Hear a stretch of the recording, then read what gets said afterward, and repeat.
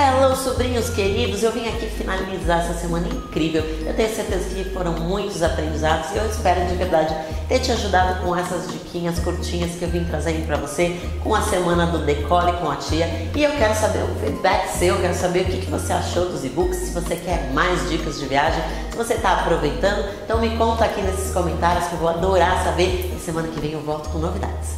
Um beijo!